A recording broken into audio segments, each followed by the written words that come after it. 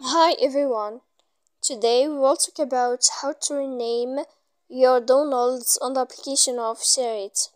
To know how to rename your downloads on the application of ShareIt, you should just go to ShareIt as you see and we click. After that in this page, you will go down to click in this sign of me. When you find this list, you will enter to Download Center then here in this page we click in this sign.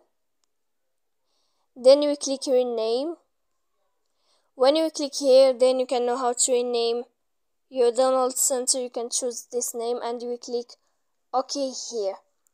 So please don't forget to support us by like and uh, subscribe.